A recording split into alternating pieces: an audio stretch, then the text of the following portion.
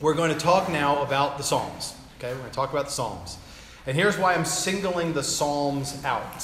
Singling the Psalms out for two reasons. The first is back to that idea of story. So we're talking about the story of stories and our stories and, and how they intersect and uh, what is the value of knowing the one for the sake of the other. And, um, and then equally, what, what are the Psalms doing? I mean, so far, it's been easy to talk about story because we've looked at historical narratives, right? Genesis and First Kings and so forth. And we've talked about the prophets, uh, granted briefly, but you can see how the prophets are responding to the story and how it's gone bad and how we can get things back on track. So, what is this collection of poems right there in the middle? So, the, the question becomes well, how do they fit into the story?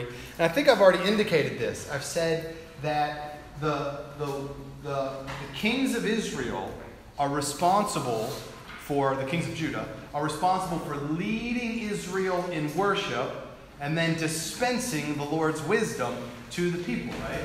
So it should come as no surprise that the author who, to whom most of the Psalms are attributed is David, the first great king of Israel, that first paradigmatic king. And then the Psalm, I'm sorry, the Proverbs, Ecclesiastes, Song Solomon, are written by Solomon. So there you have the worship literature and the wisdom literature of Israel. And the kings are, through their writing at least, leading Israel in worship and displaying wisdom through these books. And so that's why they sit right in the middle of our, our chiasm that we talked about earlier. But equally, the Psalms themselves tell the whole story. So here's the second reason why we're singling out the Psalms. For the longest time, I've been uh, intrigued by the way whole books work together. So we saw that with Genesis, probably in more detail than any other book today. That for all the individual stories you have in Genesis, there, there's a singular point. It's all coming together to get us from Genesis 3:15 to Judah. Right? That was my argument. Everything in between is the drama that gets us there. But then I asked myself, well, if you can do that with, with every book, I mean, Isaiah has a, for all, for the length of Isaiah, there is a singular message. You could summarize it in one sentence, right? Um, well, what about the Psalms? The Psalms are 150 individual poems, songs, that don't seem to have anything to do with each other. You got, you got one situation here and then another situation there. What's the connection? How do we get from Psalm 1 to Psalm 150? And for the longest time, I just thought, well, that, just don't ask that question about the Psalms because they're a collection of 150 Psalms. They could have been organized some other way, but there you go. Somebody gave them a bunch of numbers Psalm 1, Psalm 2, Psalm 3, and on we go to 150, right? But then I noticed something, and I'm sure you've noticed this as well. If you look at Psalm 1, look at Psalm 1, and uh, you'll notice that at the top of Psalm 1, what does it say? In big, bold, probably bold print or all caps. Book one. Book 1, right. So turn to Psalm 42. Psalm 42. And right before Psalm 42, it says, Book 2. And then Psalm 73. You know what you're going to find. Book 3. Right. And then in front of Psalm uh, 90, Book 4. And then before Psalm 107, Book 5. So, hmm, there is some organization here. Somebody whoever put the Psalms together in this order. It may have been the priest Ezra. We don't know. That's as good a guess as any. Even though these Psalms are written by different authors in response to different circumstances, David's on the run from his son in this one. Moses is reflecting on the Exodus on that one. Still, someone else named Elnathan is thinking about X, Y, and Z. And they've written these Psalms in responses to all kinds of situations in the life of Israel and in their own individual lives. But somebody put them together and called them book one, two, three, four, and five. And so it's, it's that flow of the Psalms and what is the psalm, what, what is the psalter? So all 150 psalms together we call the psalter, P S A L T E R, the psalter. What is the psalter doing? So if Genesis is coming together with individual stories for a, a point, is the Psalter doing the same? And I really wrestled with this because I had no answer to it. I, I, thought, well, is the first one sort of about one attribute of God, and book two is about another attribute of God, and book three is still another. And when I thought I discovered an attribute of God, lo and behold, I found that same attribute in spades somewhere else as well. You know, so it's like that wasn't working for me. And then uh, two years ago, was it two years ago? About a year and a half ago, we had a professor at ITS. His name was Diomede Tamfu. Diomede Diomede Tamfu. And he um, uh, currently he's serving a church and leading a seminary in Cameroon. But while he was here, he taught a class on the Psalms. Uh, and I dropped in, and he opened my eyes to some pretty significant things and I'm thrilled. It just made a lot of things click for me, and I'm glad to share them today. So go ahead and turn back to Psalm 1. Go back to Psalm 1. And what we're going to do is we're going to try to discern the flow of the Psalms and the point of the Psalter. And what we're going to see, I'll just uh, put the thesis out there right now, is that Old Testament meta narrative that we just got done looking at this morning is retold in poetry form in the shape of the Psalter.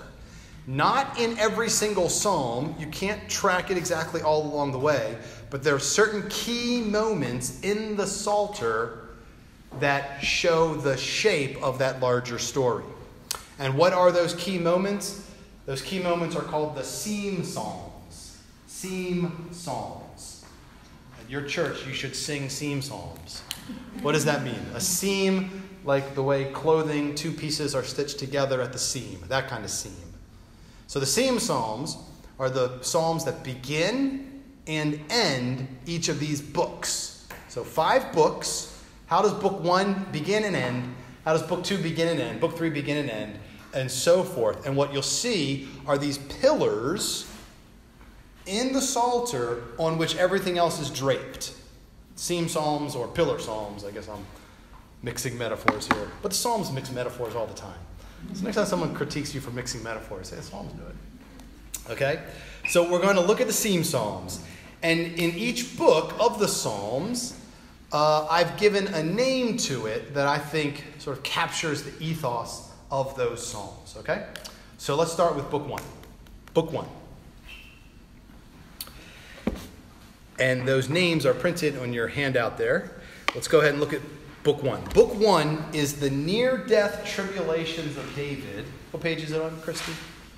14. 14, page 14. The near death tribulations of David, who emerges from the grave to rule the nations. I think when you take, uh, again, under the influence of Tamfu, I'm convinced of this, and it's from my own further study, but largely coming from him. Uh, when you take the Psalms, all the first 41, as a whole, while there's all kinds of diversity in there, and not everything fits exactly into this, into this, this jam every square peg into this round hole. But nonetheless, the shape of the whole of book one gives you this that David nearly dies many times. And in fact, he thinks he's going to die. So you think of Psalm 23 Yea, though I walk through the valley of the shadow of death. That's not just beautiful poetry and a profound metaphor for a troublesome time. I feel like I'm going through the valley of the shadow of death right now. No, no, he thinks he's going to die. He thinks he is about to die. And there are many other episodes like that. And if you think back to David's life, yeah, that was quite common, right? Saul is chasing him, his son is chasing him, right? Absalom, Goliath is chasing him, okay? Uh, and all these kinds of things. Uh, the wolf and the bear, you know, he did battle with them too. Uh, the lion and the bear. So David, but but when he doesn't die, he comes out to rule the nations. He rules the nations. A great example of this is Psalm 22. Psalm 22 is powerful because that's the one where he says, My God, my God, why have you forsaken me? And Jesus, of course, quotes that on the cross. But then halfway through, and, and, and his enemies are all around, and they're dividing his garments. And you don't divide garments unless the person's dead. And in that culture, well, you took what you could from, from your enemies when they died, right? So taking his clothes. Uh, but then halfway through the psalm, it suddenly switches to uh, David ruling the nations and the others coming and bowing down to him. So somehow he's gone from the grave to ruling the nations. Uh, and so let's look at some of the details here that capture some of this. And again, it'll be the seam psalms that give color commentary to things like Psalm 22 and Psalm 23 that I just mentioned in that capacity. So we'll start, in, verse, we'll start in Psalm 1. Um, would one of you like to uh, stand up and read in a nice loud voice Psalm 1? You look like you're ready. Go for it. Blessed is the one who does not walk in step with the wicked, or stand in the way that sinners take, or sit in the company of mockers, but who delights in the law of the Lord, and who meditates on his law day and night. That person is like a tree planted by streams of water, which yields its fruit in season, and whose leaf does not wither. Whatever they do prospers. Not so the wicked. They are like chaff that the wind blows away. Therefore, the wicked will not stand in the judgment, nor sinners in the assembly of the righteous. For the Lord watches over the way of the righteous, but the way of the wicked leads to destruction. Amen. Thank you. Uh, very intentional that this is the first psalm for several reasons. There is no superscript, there's no ascribed author at the top. It just starts, Blessed is the man. And it really serves as a bit of a table of contents for the rest of the book of the psalm, the rest of the Psalter, right? Uh, these metaphors of the, the not the metaphor yet, but the, the wicked and the righteous, the law of the Lord, uh, and then the metaphors of nature, trees and streams, uh, and so forth. And then the, then the concept of judgment right there at the end. The wicked will not stand in the judgment, but, but they will perish um, but the way of the righteous will be saved. So those are constant themes throughout the Psalms. The righteous who's in trouble and he's saved, those who are wicked and pursuing him, he's judged, uh, nature metaphors, and so forth. So it really serves as a nice table of contents. But it raises this question. Your translation said, Blessed is the one. Many of your translations will have said, Blessed is the man, right? Blessed is the man. Who is the man? What man? What man is blessed? You ever think about that? I'm sure you've read Psalm 1 probably many times. Is there a specific man in view here? Messiah. I think it's the Messiah. Someone said David, someone said Jesus. The seed of the woman. These are great answers. They're all right, by the way. The question is, how do we pull it together? Any other options? Any other options? Let's start with the more obvious option before I even raise the question. Yeah, it's you, right? It's you. It's, it's any man, woman, or child who reads the Psalms and worships God, who meditates on not just the Torah, blessed is the man who medit- delights, delight in the law of the Lord and meditates on it day and night, but, but by being the beginning of the Psalter, it's and, and the Psalms. Meditate on the books of Moses and meditate on this, these Psalms. These Psalms will help you lead you in reading the Torah, reading the books of Moses uh, worshipfully.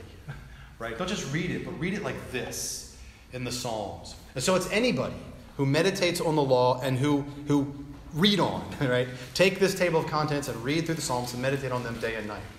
That's, a, that's, a, that's, a, that's absolutely right. That's what's great about the Bible sometimes. It hits you on these multiple levels. And so the other level then is David, Messiah, Jesus, seed of the woman. Any other options? What if we paid attention to some particular details? Notice that this man is blessed. He's given the law. He's to meditate on it day and night.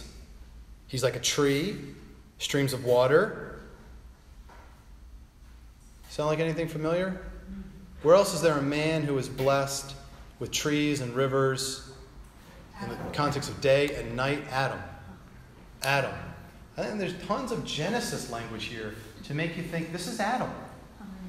Day and night. There's even the wind that's blowing here. Uh, the, the trees and the streams. Okay, this is, this is Adam. Which means, back to the first answer, this is uh, every Adam and every Eve. Right? Who will live this way. But remember, Adam is a cosmic figure. He's, he's not just a stereotypical, prototypical uh, person from the primordial past to say, well, where do we all come from? We all came from Adam and Eve. Uh, rather, he is in the Garden of Eden. He is at rest with his Creator. When he's meditating on the law day and night, one would assume that also means obeying the law day and night, he is at rest. And so, this first psalm is a picture of thriving, flourishing humanity as it ought to be and as it was. Now, why throw a psalm out there like that? Is this just pie in the sky, wishful thinking? Oh man, if only Adam. Hmm, we could be that way too if it weren't for Adam. Or is it leaning forward to say Adam was promised, Eve was promised a seed who will restore that kind of thing? This will be the experience of the new creation. New streams, new trees, new law. It is, after all, after the judgment of the wicked. And so Psalm 1 is not just an invitation to the Psalter and a worthwhile reflection. Hey, I want to be that kind of person who meditates on the law day and night. I too want to have my be successful and prosper and, and these kinds of things. But an invitation to reflect on this larger cosmic level, the beginning of the story and how we might get back there, how it might end through a new man, the seed of the woman, who we know, we'll see in a moment, is Jesus. But Psalm 2 is, is like the second half of the table of contents. So let's take a look at Psalm 2 as well.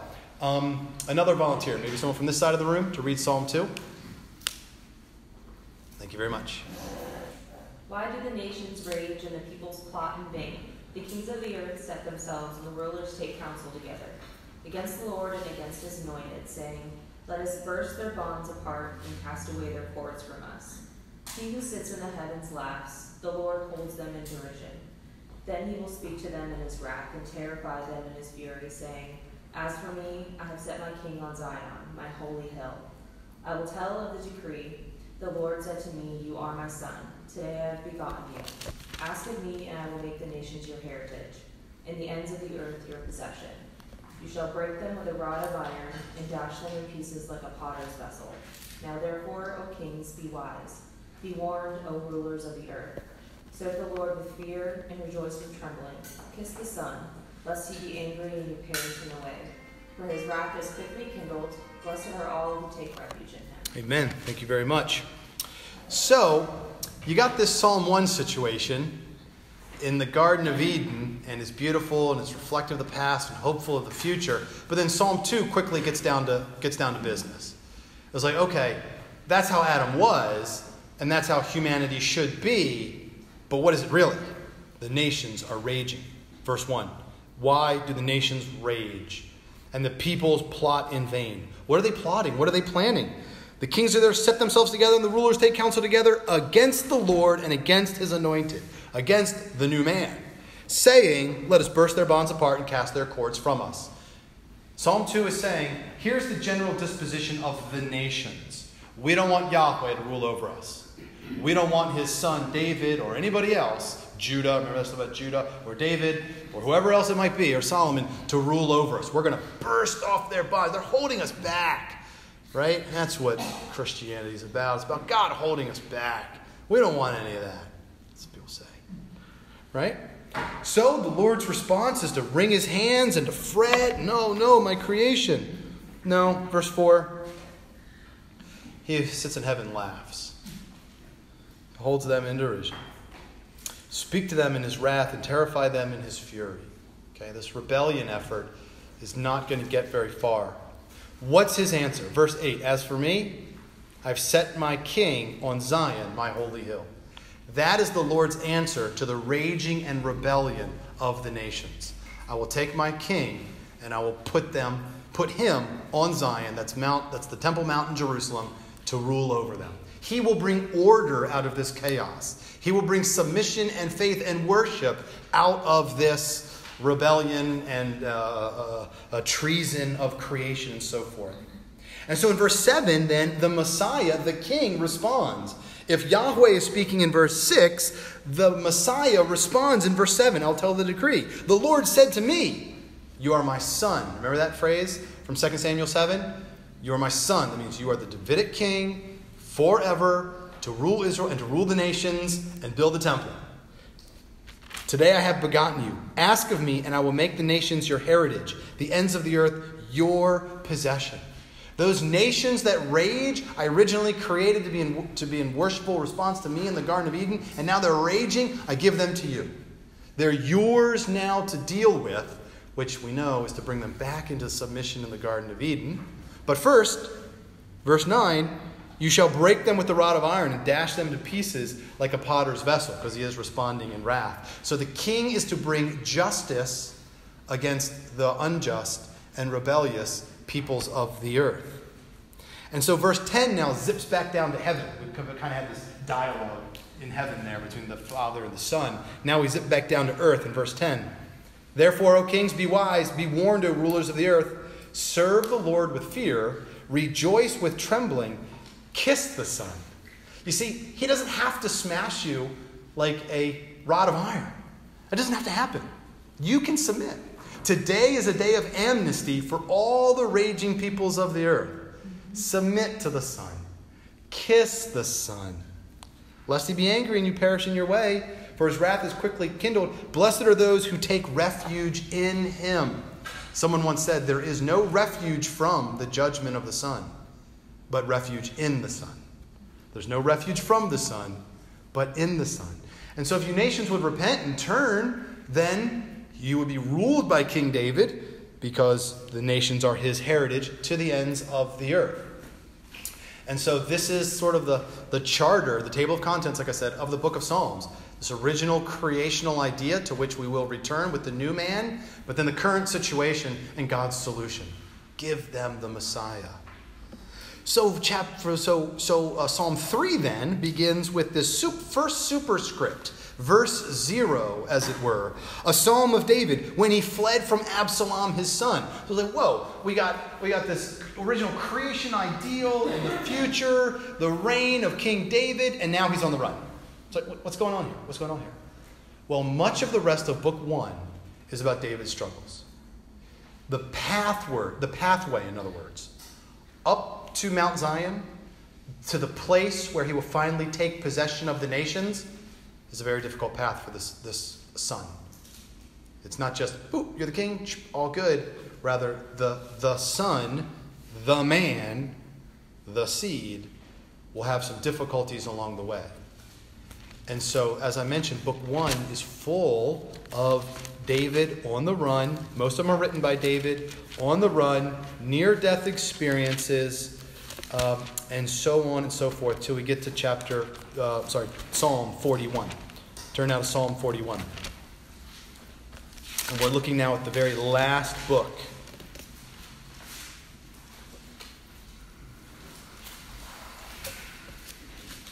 Forty-one, beginning in verse nine. Beginning in verse nine. Now again, this is important to note. This is the last psalm of the book that started with creation Adam, son of God, son of David, uh, uh, uh, subjection of the nations and redemption of them if they will repent. Ends, goes through all these trials and ends with this one. Even my close friend, verse 9. Verse 9. Even my close friend, in whom I trusted, who ate my bread, has lifted up his heel against me. Everybody's against him. Everybody's against him. Son is against him, Absalom, right? His enemies, true enemies, are against him. Even his family, even his close friend is against the man, is against the anointed one. But you, O Lord, be gracious to me and raise me up that I may repay them. By this I know that you delight in me. My enemy will not shout in triumph over me. This is the confidence of David at the end of all, at the end of all things. This is what he knows the enemy, the one with enmity, will not win the victory, despite what it looks like at any given moment. But you have upheld me because of my integrity and set me in your presence forever. And you should hear in that, I hope you hear in that, echoes of 2 Samuel 7. The temple of the Lord is the presence of the Lord, and it's promised to the Son of David forever. So again, the word forever is not just dropped in everywhere because, oh, it's a religious book. And That's what we talk about. We talk about eternity. This comment on the presence of the Lord forever is where the Messiah will end up, despite having to go through almost death. Or you can get the picture. And then the book ends with, Blessed be the Lord, the God of Israel, from everlasting to everlasting. Amen and amen. And then every book of the Psalms ends with something like that. Blessed be the Lord, the God of Israel. Every book ends like that, with a little blessing of the Lord right there at the end. But the last comment before that benediction is You set me in your presence forever. Forever. So, book two then turns the page. If book one is about the Messiah rising up through his near death experiences to rule the nations and to bring them also into God's presence forever. Book two, then, that has started. That has begun. So I call book two the rule of the house of David forever. The rule of the house of David forever. And so I've got this little drawing here. You also have it on your uh, in your um, packet. That book one starts and then climbs up, and book two is like a little pinnacle. It's it's about the reign of David and uh, what uh, the creation will look like if the son of David can accomplish what God says in 2 Samuel 7. So look at Psalm 42, verse 3. Psalm 42, verse 3. My tears have been my food day and night. So you hear that echo of Psalm 1, right? Day and night. While they say to me all day long, Where is your God? So Psalm 2 begins with more of the mockery of the trials in book 1. Where is your God? Turn to Psalm uh, turn to verse 10. Verse 10. As with a deadly wound in my bones, my adversaries taunt me while they say to me all day long, Where is your God? And this is the question then that Book 2 will seek to ask. If it's true that the Son of David's rule and reign restores creation and brings us back to the Garden of Eden, the nations are saying, well, let's see it. Let's see what it looks like. What does that kind of society, what kind of humanity does that look like when the Son of David is on the throne and people are kissing the Son? You follow me? So turn to Psalm 73 now. I'm sorry, 72. 72. And this is where we're going to camp here for a little bit because Psalm 72 is the answer to that question. What's the question again? Where is your God?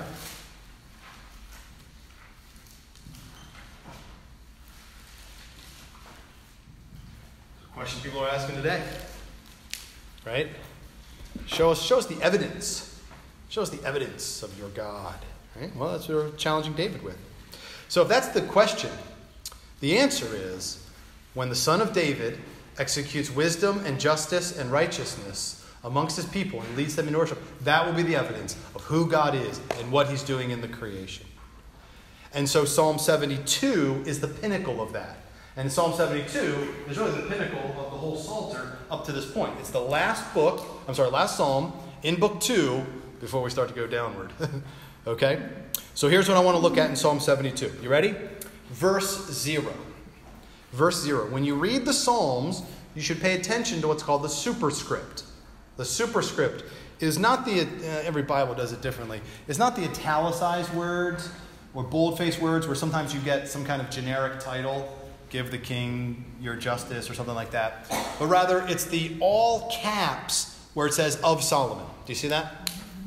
Uh, does anybody else have something different at the beginning of Psalm 72? Of Solomon? A psalm of. A psalm of Solomon. So that gives the impression that Solomon wrote it, right? Anybody have something different? No one? All the translations in the world? There are three ways to what it, what it says in the Hebrew text. There are three ways uh, to translate it. Of Solomon is one, but that's actually less common. That's less common than to Solomon. Yeah, doesn't that make a difference? These are not words said by Solomon, but actually to Solomon, or it could be translated for Solomon. Now, I think it's to or for Solomon, and here's why. Look at the very end. Look at verse 20. Psalm 72 20. The prayers of David, the son of Jesse, are ended. So, what's going on here? Is this a psalm by, of Solomon? But then you say at the end, that ends David's prayers? Or, it's more likely that that should be rendered to Solomon or for Solomon, and that this is David's prayer for Solomon, the first son of David in the line of the seed of the woman to redeem humanity and restore the presence of God to the creation. And so, this is the last thing David wants to say to him, or maybe even pray to God for him. So, what we're about to read is David's hope for the Davidic kingdom. Now, in saying this is the, the prayers of David, the son of Jesse, are ended, if you keep reading in the Psalms, there are more Psalms by David. So, what's going on here? So, the point is not that this is the last Psalm of David in the Psalms, but that this is the crescendo of all the other Psalms. The end in terms of the telos, the goal, the final horizon. What was my life about? Why did God call me from being a shepherd to be the king of Israel? So that I could give Israel and I could give the world this kind of son who will do what? Well, we should look. Give, so now we begin with verse 1. And this is why I think it's a prayer, because give the king your justice, O God. So it's a prayer. So he's not talking to Solomon, but he's talking about Solomon. Give the king your justice and your righteousness to the royal son. That is the main point of the psalm. Everything else is details. David's prayer for his son on the way out is not secure borders or economic prosperity or fame or fortune. What is it? That he will be known as a king who has justice, verse 1, and righteousness, also verse 1. May he judge your people with righteousness and your poor with justice. Why do you think the poor are singled out? I mean, doesn't everybody need justice? Yes, everybody needs justice. But the poor are singled out for this reason. It's often the poor that can't get justice for themselves. If you, if you are socially, culturally, or economically empowered, you probably know the right people or you have the right resources and funds to, to stick up for yourself. But it's the poor who can't give, who can't find help, who need somebody, who need a shepherd to take care of them. And David is praying for his son Solomon that he won't bow down to the lobbyists who have tons of money, but bow down and reach down and lift up those who don't.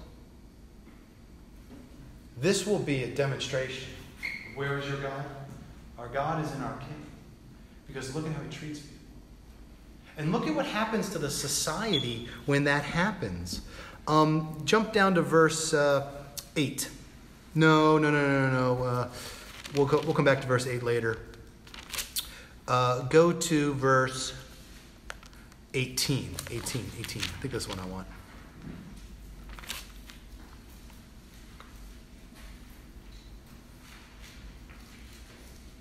No, it's 16. It's 16. Sorry. Okay. Verse 16. May there be an abundance of grain in the land. So not like not like uh, Ruth, that started with a famine, right? And on the tops of the mountains may it wave. May its fruit be like Lebanon, and may the people blossom in the cities like the grass of the field. May the people blossom. Do people blossom? No, flowers blossom, right? But what a beautiful metaphor. We all know what it looks like when a, when a flower is in bloom. We also know what it looks like when a flower is wilted. May the people look like blossoming, blooming flowers, right? If you will live this way, if you will be righteous, if you will be just, the poor will be cared for, and everybody will thrive in their person. There will be a blooming of humanity. That's just glorious. Now let's do go to verse 8. Let's do go to verse 8. May he have dominion from sea to sea and from the river to the ends of the earth. May the desert tribes bow down before him and his enemies lick the dust. Now that's interesting because what else did God say to Satan? On your belly you shall go, and may you eat the dust all the days of your life. You don't think Genesis 3:15 is in view? It's certainly in view. David is praying that would Solomon be the one who finally crushes the serpent, finally crushes the enemy not just of Israel, but of all humanity. The kings of Tarshish and the coastlands will render him tribute.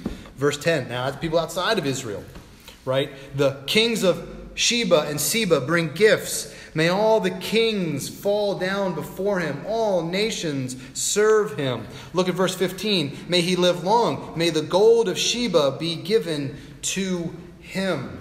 So you've got the obedience and the tribute of the nations, the flourishing of the people, the righteous and just care for the poor.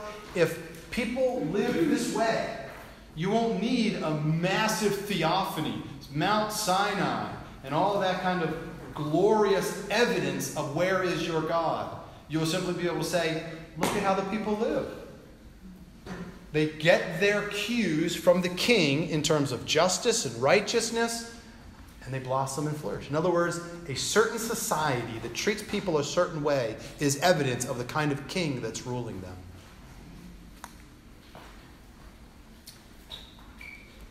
And the psalm wraps up like this, verse 18. Now we'll go to verse 18.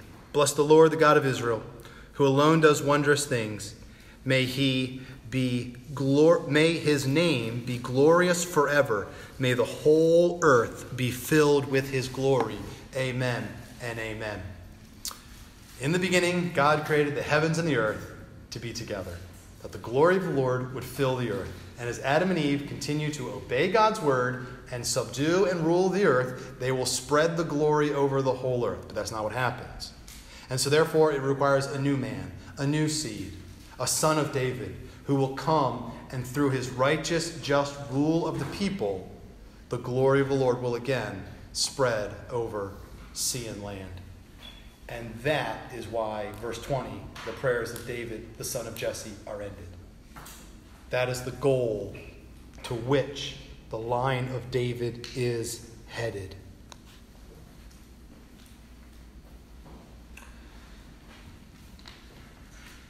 Does God answer that prayer?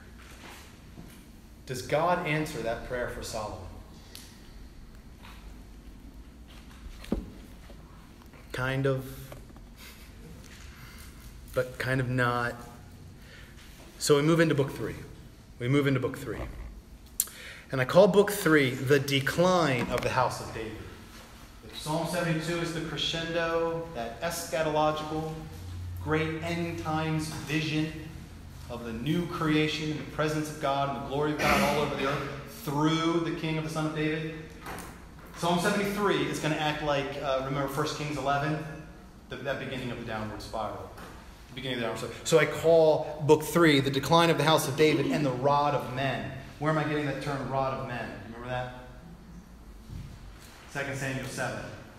If your son obeys me, he will be my son, but if he disobeys, I will discipline him with the rod of men.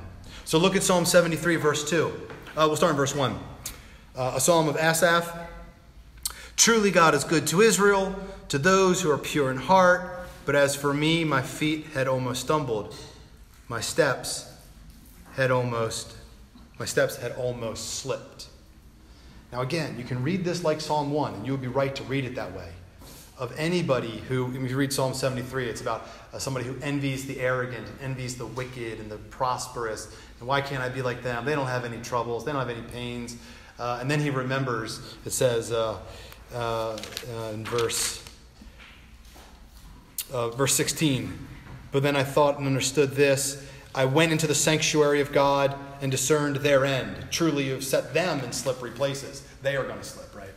So it's a psalm, individual lament about how this person has this internal struggle that it seems so easy not to follow the Lord. And I wish I could just be like these other people who seem to be all, all good, uh, health, wealth, prosperity, or whatever, you know, and I'm struggling here.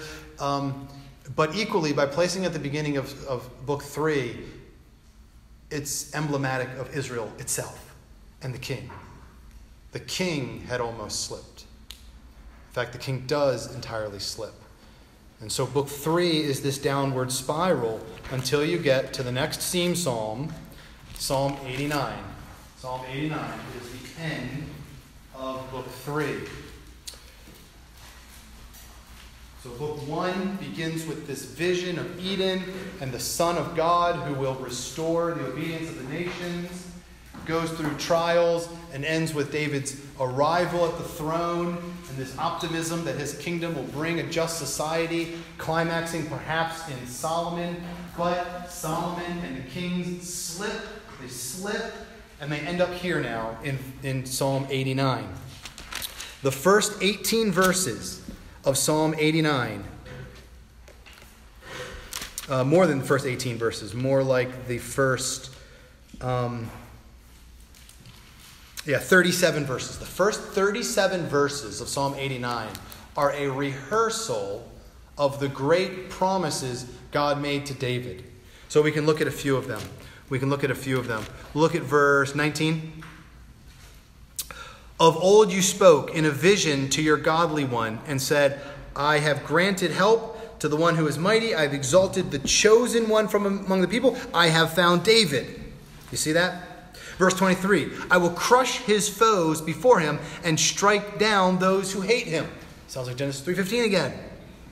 And then 27 I will make him the firstborn, the highest of the kings of the earth. So there's that idea again that the son of David will rule not just Israel, but all the nations. Verse 28 My steadfast love I will keep for him forever. Verse 29 I will establish his seed forever. Verse 34 I will not violate my covenant or alter the words that went forth from my lips. Once I have sworn by my holiness, I will not lie to David. His seed shall endure forever. Verse 37 Like the moon, it shall be established forever as faithful witnesses to the skies. Selah. Now, verse 38. But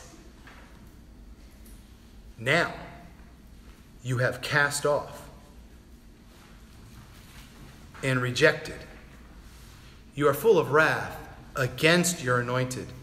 Listen to verse 39. You have renounced the covenant with your servant and defiled his crown in the dust. Verse 44 You have made his splendor to cease and cast his throne to the ground.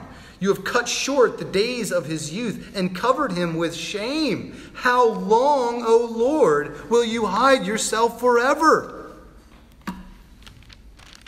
Verse 49 Lord, where is your steadfast love of old, which by your faithfulness you swore to David? What's going on here?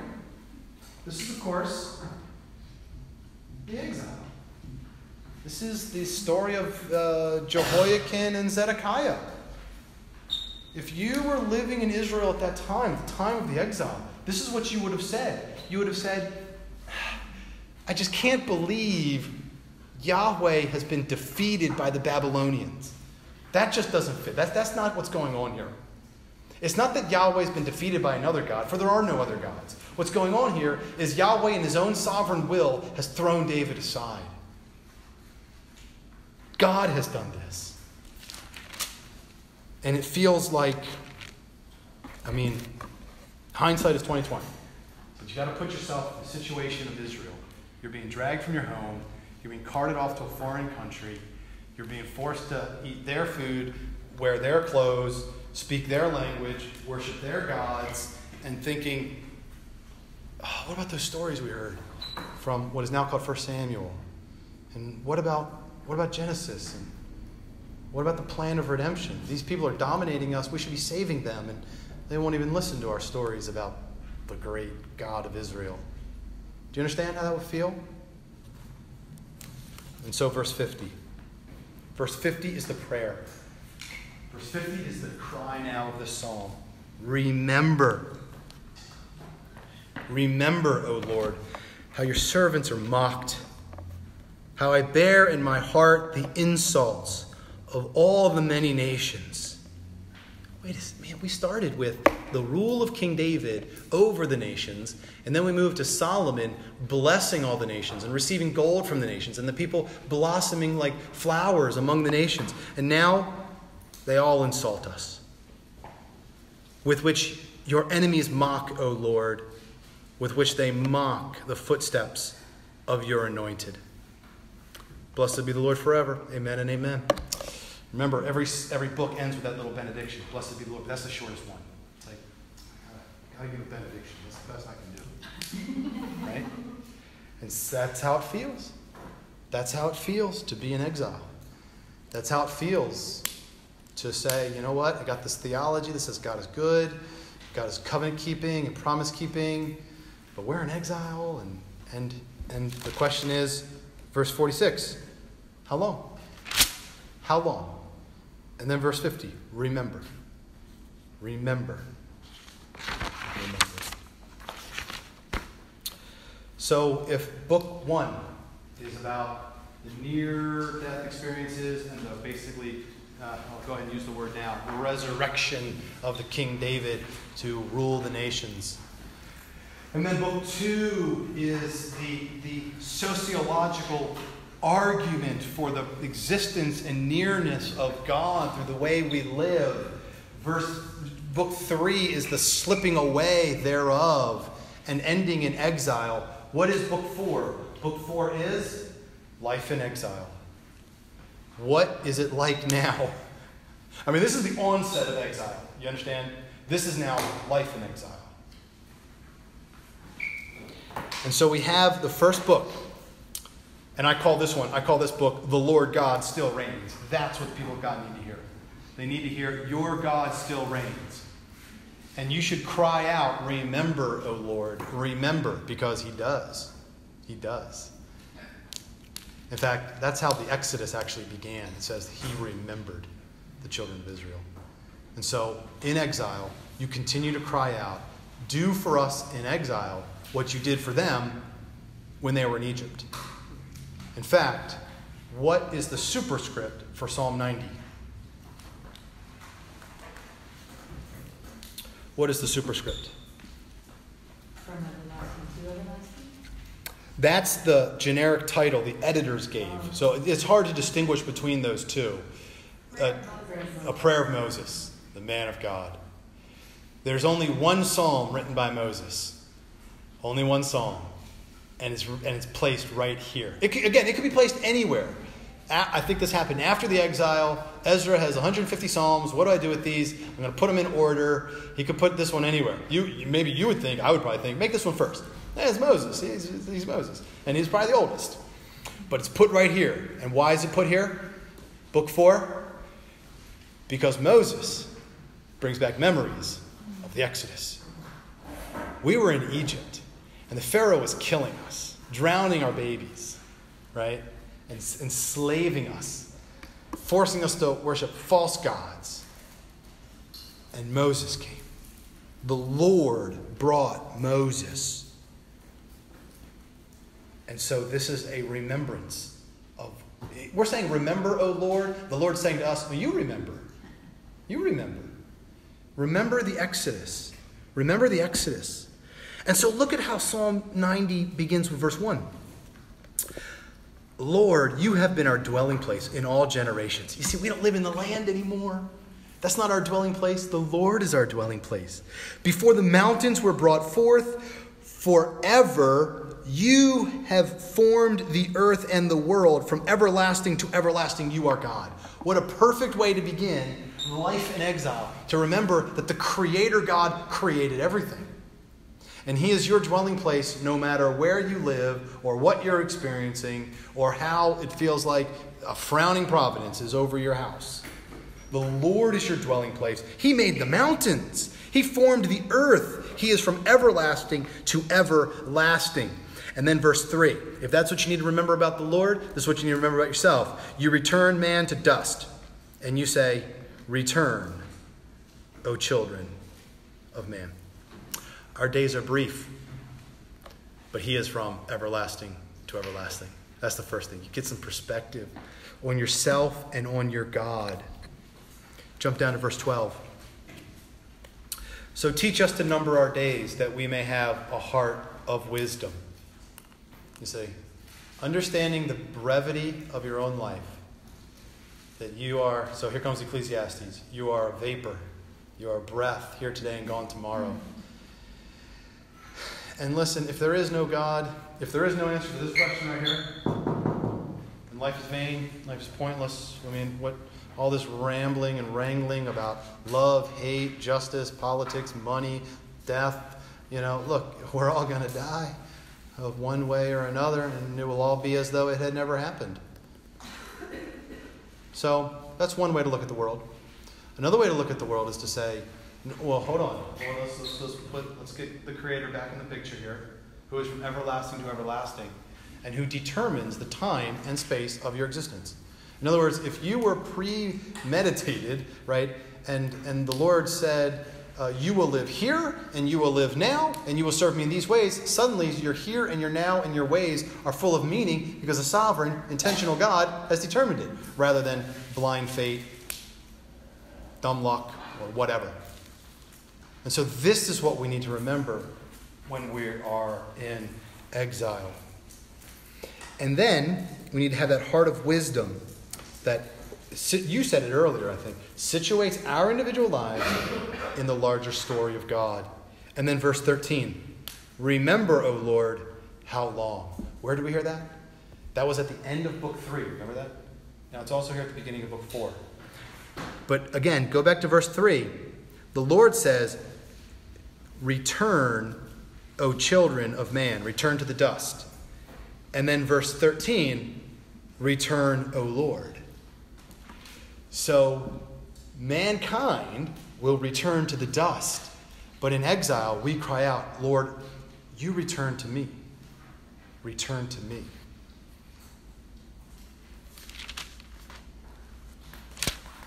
And then verse 17. Let the favor of the Lord our God be upon us and establish the work of our hands upon us. Yes, establish the work of our hands. What an interesting way to end the psalm. This psalm is saying you set your hand to something.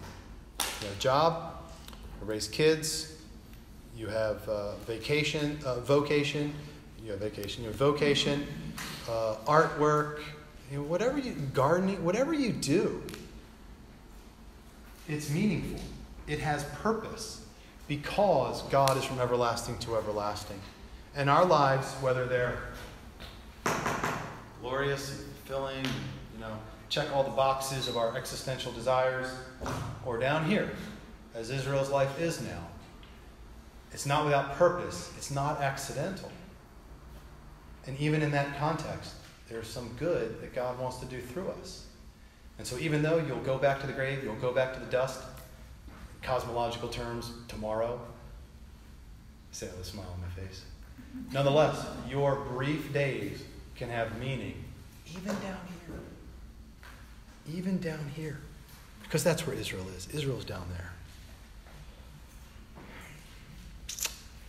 Now, what's great about Psalm 91 is that Psalm 91 is the psalm that Satan quotes to Jesus in the temptation in the wilderness. Uh, where is it? It's in verse 11. He will command his angels concerning you to guard you in all your ways on their hands that will bear you up, lest you strike your foot against the stone. What a great word to people in, in exile. He will bear you up. He will bear you. You are down and out, God will bear you up. It may be a while. How long, O Lord? How long, O Lord? But he will bear you up. I mean, that's, that's, that's Satan's psalm right there. He won't bear you up. You're down and out. I've, I've got it right here. And you don't, and God doesn't. But here's what's interesting about this psalm that Satan quotes to Jesus is he cuts it off in the middle. Look at verse 13. You will tread on the lion and the adder, the young lion and the serpent you will trample underfoot. Now that's ironic. Satan quotes right up to the moment where the promise is made to the seed of the woman in their darkest hour God will bear you up and you will still trample the head of the serpent. It's a great place for Satan to stop reading, but it's a great place for you to keep reading. Amen. Turn to Psalm 106 now. Psalm 106. See, again, what I love about the Psalms is it's taking the history of Israel and it's saying, you can, you can map your own life against the history of Israel. So personal and individual, yet so cosmic and redemptive and corporate. Psalm 106 now. How does Psalm 106 end?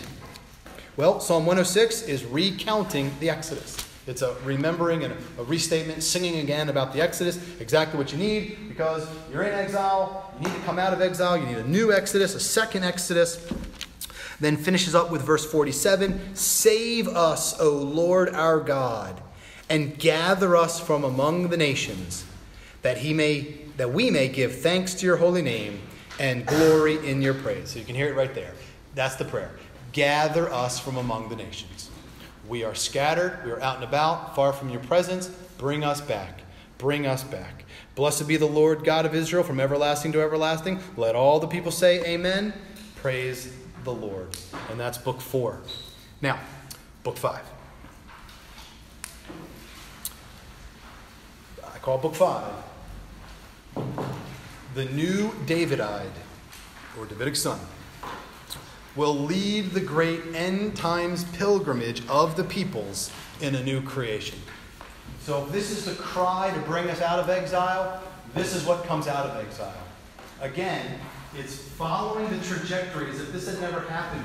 What would happen if God finally does answer that psalm of Solomon? That psalm for Solomon.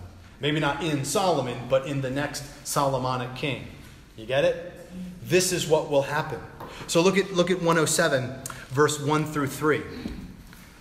O Lord, give thanks. I'm sorry. Oh, give thanks. Which remember, remember Psalm 106, 47? We will give thanks. So 107 begins with, We give thanks to the Lord, for he is good, for his steadfast love endures forever. Let the redeemed of the Lord say so, for he has redeemed us from our troubles and gathered us in the lands from the east to the west, the north and the south. Well, that was the prayer at the end of Psalm 106. Gather us and we'll give thanks. Oh, give thanks, for he's gathered us. This is the return from exile. This is now the return from exile. Look at Psalm 108, uh, superscript. A song, a psalm of David. Now, we had said that this was the end of the Psalms of David. And there have been a handful, but not many, throughout this here. Tons of Davidic stuff here and here, very little here, and then it all goes storming back here. What do you think the point is? I think the point is remember those near death experiences of David? Oh, yeah, he did die. His crown was thrown into dust. The whole line of David died. Now the line of David is back. End of exile will also mean resurrection of the house of David. More than that, look at Psalm 110. Somebody mentioned this earlier. Again, a psalm of David. The Lord said to my Lord, Sit at my right hand until I make your enemies your footstool. Your enemies under your feet. This is Genesis 3:15. The Lord sends forth from Zion your mighty scepter, rule in the midst of your enemies. Your people will offer themselves freely on the day of your power in holy garments. You will have a collection, a community of priestly followers who will gladly serve you, O King David. Verse 4 The Lord has sworn and will not change his mind, which is everything that was said in, in Psalm 89, but it sure didn't seem like it, but it was true. The Lord has sworn and will not change his mind. You are a priest forever according to the order of Melchizedek. Now, here's why Psalm 110 is so exciting. It's in book 5, and so the end of exile, the great end times new David, who will bring in the nations to finally fulfill things like Psalm 1, will be a king and he'll be a priest. That is, that is, that is a new idea dropped into book 5 at the end. Because why does Israel go into exile? Sin. So if we're going to return from exile, we need a sacrifice for sin. We know we need a king, but man, we also need a priest. Woman, we also need a priest.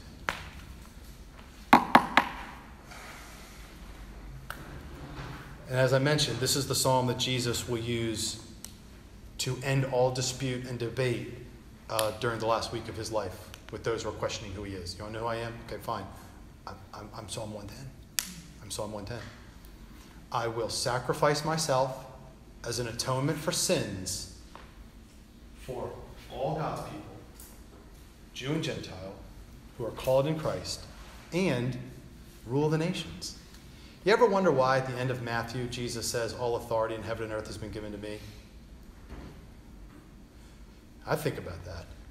I mean, what would you think if someone came down the street and said, You know what, heaven, earth belongs to me? Everything in heaven and everything on earth happens because I'm in charge. That's what, that's what Matthew 28 18 is about. All authority in heaven and earth. That's an audacious claim. Why can he claim that? Because he's saying, by virtue of his sacrifice, priest, and his resurrection, king, he now rules the nations. He is the Psalm 2 son of David, enthroned on Mount Zion, to which the nations now come in glad obedience. Of which, I look around this room, y'all are exhibit A through Z. In other words, your ancestors, like my ancestors, worshiped the rocks and the spirits of the rivers and the mountains and feared the thunder because Thor was coming down on them or whatever. You understand? In God's kindness, He opened our eyes and turned us to the true King who subdues the raging nations. Through the Psalm 110, priest king, Jesus Christ. But I get ahead of myself. Let's see how does the fourth book, uh, sorry, fifth book end. I hope you remember, turn to, turn to Psalm 146, 146, 146. I hope you remember that at the end of each book, we had this exclamation of praise. Praise the Lord, praise the Lord forever, and so forth, right? But the fifth book ends with not just a couple lines of praise, but five psalms in a row that are just full of praise. So, Psalm 146, verse 1 Praise the Lord, praise the Lord, O my soul. I will praise him as long as I live. I will sing praises to the God while I have my being. Psalm 47, praise the Lord, verse 1. Psalm 48, praise the Lord, praise the Lord from the heavens, praise the Lord in the heights, praise the Lord and the angels, praise the Lord all his hosts. Praise him, sun and moon, praise him, shining stars, praise him, highest heavens, praise him this, praise him that. 49, praise the Lord, sing praise to the Lord. And then Psalm 50, praise the Lord, praise him in his sanctuary, praise him in the mighty heavens, praise him for his mighty deeds, praise him according to his excellent greatness, praise him with trumpet sound. Praise him with lute and harp. Praise him with tambourine and dance. Praise him with string and pipe and with sounding cymbals. Praise him in the loud chambers. Let everything that has breath praise the Lord. Praise the Lord. And that word breath comes right out of Genesis 2. He breathed the breath of life into humanity. And if we were to read all of Psalm 146 through 50, we would again see the mountains and the trees and the rocks and the rivers also praising God. Again, not being praised, but praising God. In other words, there will be a new creation. When the priest king ends the exile, not just of Israel, but all humanity, and brings us back into the Psalm 1 Garden of Eden, it will be a new creation. It will be resurrection, and it will be, it doesn't say it here, but it will be rest. It will be rest. And creation will reach the telos to which it was always intended. God is not scrapping things, He's saving things. And so, again, as part of the Old Testament, this sits there for a while and creates the hopes and fears of Israel. Hopes that God will come through, fears that He won't, for hundreds of years. Hundreds of years until we get to, well, pause for now. Let me take a few questions let me say again, not every psalm fits into these categories, but this is the shape of the psalter into which the individual psalms in between, right, uh, I think are intentionally situated there for, sometimes loosely, but you get the sense that you got David, David, David, David, David, David, David. And here we are back again, book five. So one or two questions, and we'll, and then we'll break into our groups again for discussion. And I don't mind that we cut into the fourth hour to continue those discussions because I, I, think they're important. Okay. Uh, so uh, a question, comment. Yeah.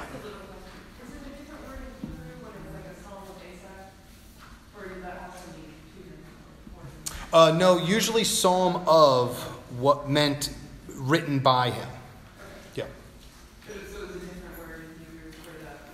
Uh, give me the, the specific one. What was that? 40, 42 was it?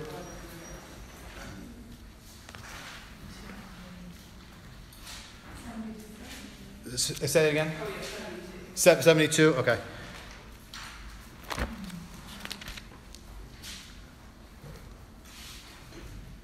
No, it's the same word. It is the same word.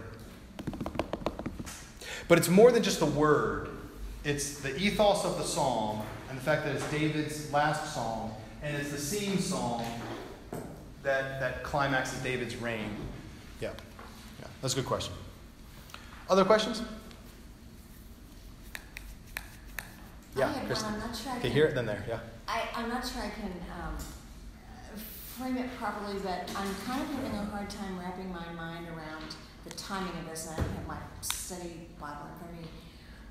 Are you saying that like Ezra kind of pulled all these together, the Psalms, and used them during the captivity, or were Ezra written- probably, written during? They weren't. yeah, written- some, some were written during the captivity. Okay. So, yeah, these were written at all kinds of different moments in Israel's history. As far back as Moses, yeah. during the life of David, even in exile, Okay. even in exile. But when Ezra brings the people back to the land, Okay. remember he reads the law and he's. I mean, we're re- restarting Israel here. And I, I, something like this probably goes on in his mind. You know, we got, man, what a history. Whew, and here we are, we're back.